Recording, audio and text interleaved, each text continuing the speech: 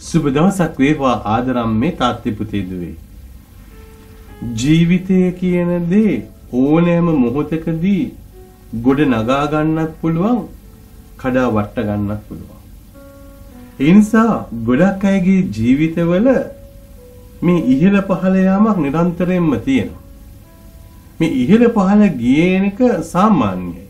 නමුත් යම්කිසි පුද්ගලයෙක්ගේ ජීවිතේ නිරන්තරයෙන්ම මේ පල්ලහැට එන්න හදනවා නම් එතනදී පොඩ්ඩක් පරිස්සම් වෙන්නට ඕනේ. මොකද අපි ඉපදිලා ඉන්නේ පල්ලහැට එන්න නෙමෙයි. අපි ඉපදිලා ඉන්නේ ඉහළට යන්න. ඒ නිසා තමයි දෙවියන් වහන්සේ ඔබ රෝගී වුණොත් ඔබ සුවපත් කරනවා. ඔබේ සිත බිඳුනොත් ඔබ ඒක සුවපත් කරලා නිදහස් කරනවා. බලාපොරොත්තු නැති වෙනකොට බලාපොරොත්තුවක් දෙනවා. කලකිරනකොට අලුත් අනාගත සැලසුම් ඔබට ඉදිරිපත් කරනවා. ඒ නිසා ඔබට කාත් කවුරුත් නැති වෙනකොට ඔබ නාඳුන පුද්ගලයෙක් ලව්වලා හරි ඒ උදව්ව ඔබට කරවනවා. එහෙනම් මේ තාත්තේ පුතේ දුවේ මේ යථාර්ථය ඔබේ මගේ ජීවිතයේ තියෙද්දී ඔබට මට බෑ ආයෙත් ඔබ ඉන්න තැනින් පල්ලහැට එන්න. ඉන්න තැනින් පල්ලහැට එන්න බැරි නම් ඔබට මට අවබෝධයක් තියෙනට ඕනේ ඔබ මා දැන් ඉන්නේ කොහෙද කියලා. ගොඩක් අයට ඒක අවබෝධ නැහැ.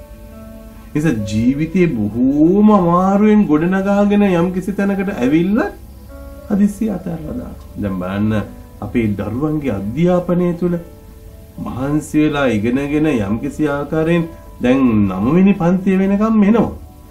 මේ 9 වෙනි වසර වෙනකම් ඇවිල්ලා 10 වසර වෙනකම් ඇවිල්ලා හදිස්සියේ ඊට පස්සේ ඒගොල්ලන්ගේ මේ ඉන්ටෙන්ෂන් එක වෙනස් වෙනවා.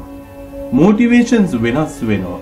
අරමුණු වෙනස් වෙලා ෆෝකස් එක අඩු වෙලා ගිහිල්ලා එතකොට අධ්‍යාත්මයේ අධ්‍යාත්මික අරගලයකට ඇවිල්ලා අධ්‍යාපනය වෙනුවට මේ මොහොතේදී විභාගයට ලැකලා ඇස් වෙන්න ඕන දරුවා විවාහයට ලැකලා ඇස් වෙන්න. දැන් මොකද වුනේ? දැන් සමහර දරුවෝ දැන් ඒ කඩේමත් පැන ගන්නවා කොහොම හරි. අන්තිමට ඒ ලෙවලුත් පාස් වෙනවා ඉහළින්. කැම්පස් එකට යනවා. යුනිවර්සිටි එකට යනවා. ඊට පස්සේ මොකද වෙන්නේ? ආයිත් ફોකස් එක ගිහිල්ලා. ඊට නිසා මොකද වෙන්නේ? එක දිගටම රිපීට් කරන්න වෙලා.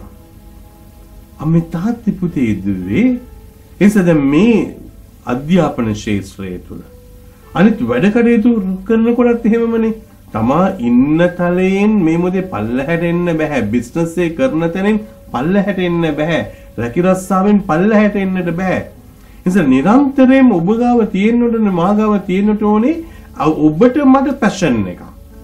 ඔබ වෙනුවෙන් මා වෙනුවෙන් පැෂන් එකක් තියෙනවා මොනවද මේ පැෂන් එක? කැක්කුම මම මගේ ජීවිතේ අතහරින්නේ නැහැ. මේක ඉතාමත් සුවිශේෂී කරුණක් ඔබ ඔබේ ජීවිතය අතහැරපු දාට කිසිම කෙනෙකුට ඒ ජීවිතයට සහයෝගය දෙන්න බෑ. ඔබේ ජීවිතේ දුර්වල වෙලා ඉන්නකොට කොහොමරි අල්ලලා තියාගෙන හිටියොත් වටේ පිටේ ඉන්න අයට ඇවිල්ලා ඔබට උදව්වක් කරලා ඔබ ආයෙත් ඉහළ තැනක තියන්නට පුළුවන්. ඒ නිසා තමයි සමහර අයගේ ප්‍රශ්න හරි ඉක්මනට ඒගොල්ලෝ විසඳ ගන්නවා. සමහර අයගේ ප්‍රශ්න ඒගොල්ලන්ට විසඳ ගන්න බැරුව යනවා. කාත් කවුරුත් නැතුව යන අයියේ ඒගොල්ලෝ මේ මොහොතේදී ජීවිතේ අතහැරලා දානවා.